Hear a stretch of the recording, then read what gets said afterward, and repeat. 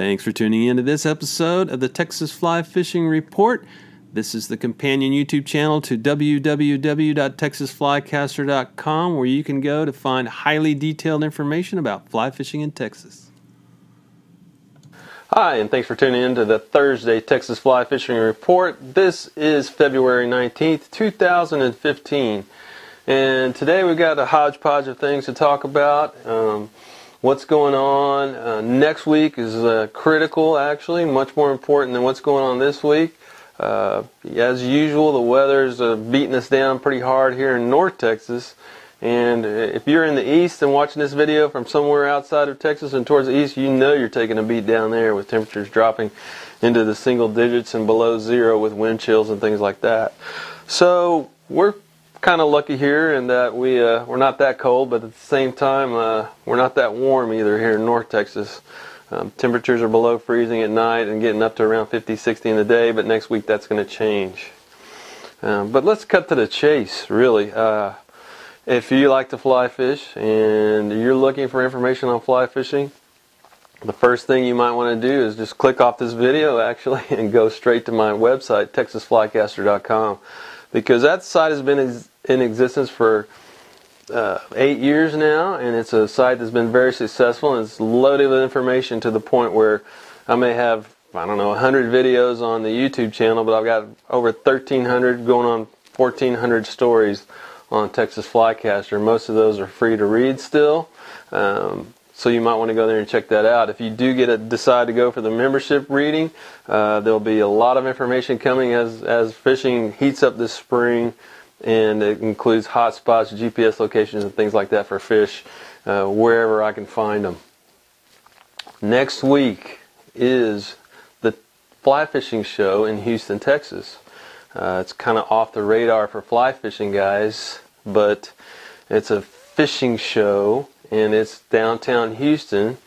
And I had a guy that's a, a, a rod maker contact me this week and it's Marshfly, and it's a brand new.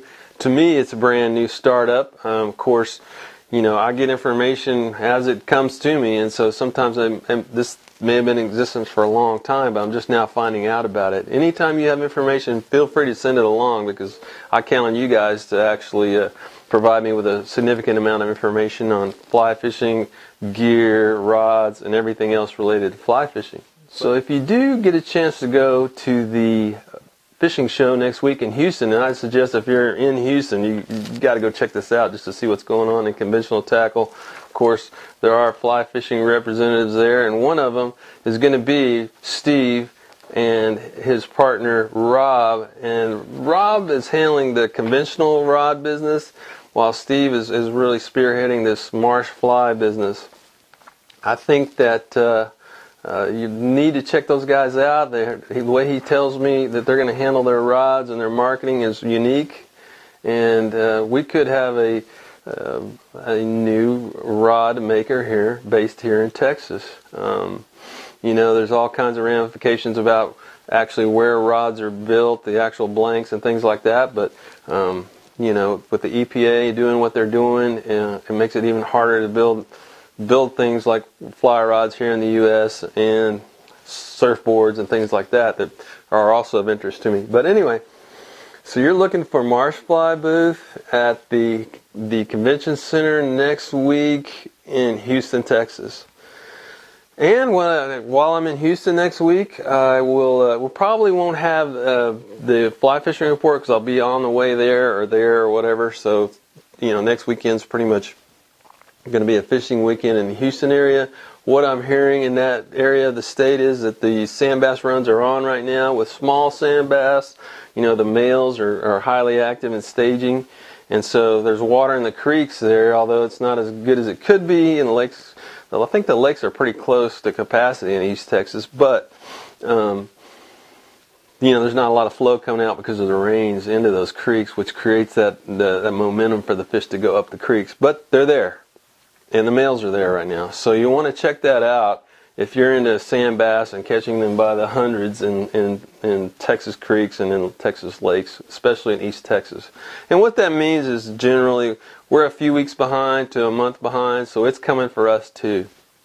I'm a lot less interested in creek fishing for these guys uh, because our lakes are so low that the creeks are dry in places like Lake Ray Roberts. So, and even Lewisville Lake, which somebody, some people call uh, Lake Dallas. But anyway, um, we're going to find some sand bass there, and then as that, that migration of temperature and, and activity comes our way, we'll find it up here. And then as a third point uh, for the, the, the, joys and fun of sand bass fishing, we're going to go down to uh, Central Texas and fish some rivers down there sometime in the spring. And it should be a really good spring. Um, even though, as you've seen on the Water Wednesday, the, the maps are showing that we've still got a major, major drought going on here in Texas, and, and it doesn't seem to be letting up.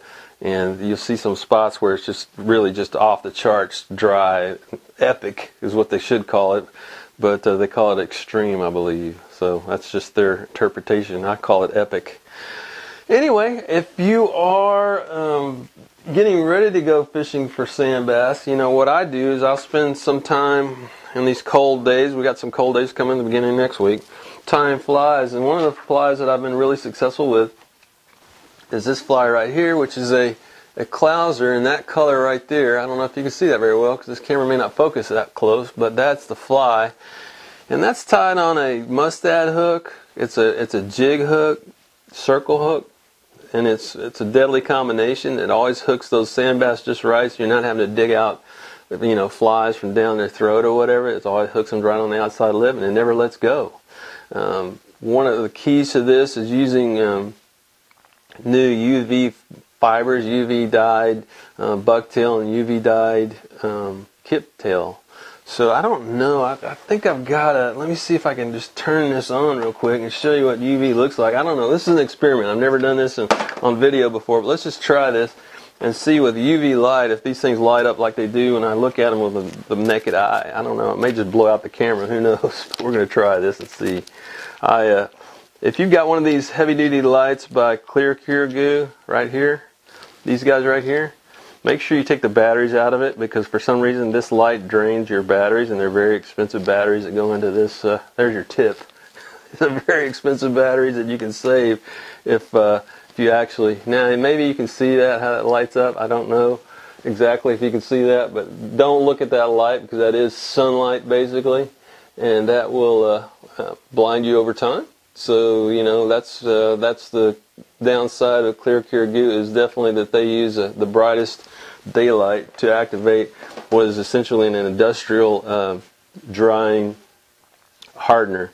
And that's what I use on this. I don't, I, you know, I use wear sunglasses and, and actually uh, use Clear Cure Goo because it dries really fast and it adds a little weight to the head and it adds a, exponentially more life to the fly. So these are the flies, you know.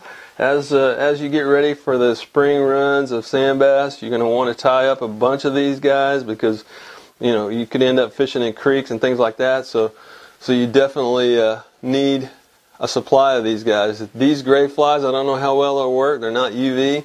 Um, if you don't have UV uh, dyed uh, components, don't worry about it. But those are great color combinations there. The only combination that's not here yet is just a white on white. So think about that. You know, there's a lot of aspects to fly fishing, and one of them is fly tying. Some people just choose to tie flies and don't even fly fish very much. So this is a very uh, relaxing and, and, fun way to uh, spend your time when you can't go outside with the weather so bad here in Texas. Um, if you have any information, I'll be glad to take it in and tell people about it. You know, one of the great things about talking with uh, the guys at Marsh Fly is that they're into sharing information as much as I am. It's very unusual that um, people that are professional guides like they are, um, you know, come out and actually say this this kind of thing that they're actually into sharing information, but it's not magic what we do here. I'll be glad to tell you, you know, what the left hand's doing while the right hand's doing something else. There's no problem. All you have to do is ask. Uh, if you enjoy the videos you see here on the uh, Texas Flycaster YouTube channel, please subscribe. And always, as always, I think my uh, my vendors, uh, the people that endorse me, and I endorse them. It's a, it's a unique situation where um, I pay for the things I get, but I sure enjoy reviewing them, and it's top quality stuff. And I would definitely like to uh, get my hands next week on these rods by Marshfly and see what they're up to. For example, I just I just can't stop talking about these guys. But for example, they've got saltwater spey rods coming out.